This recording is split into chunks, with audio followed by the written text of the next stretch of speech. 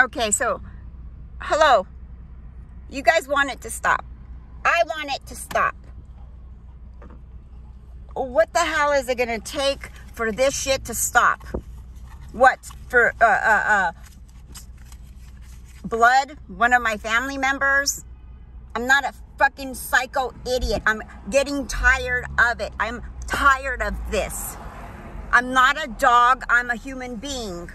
When I was in Mexico, they treated me like a dog over there too. Okay? There's a lot of stories that are wrong. People put shit on the internet to make people do dumb stuff. Once again, I was a nurse for many, many years. I put others above me.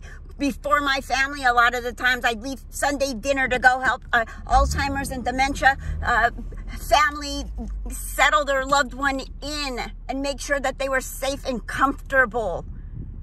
I don't get it.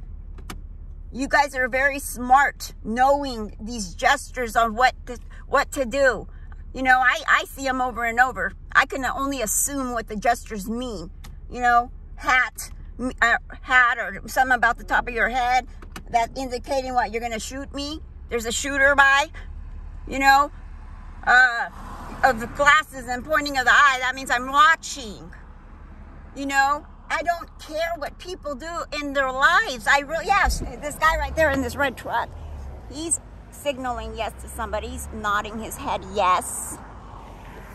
And yeah, I get it. It's been a fucking setup from the freaking beginning.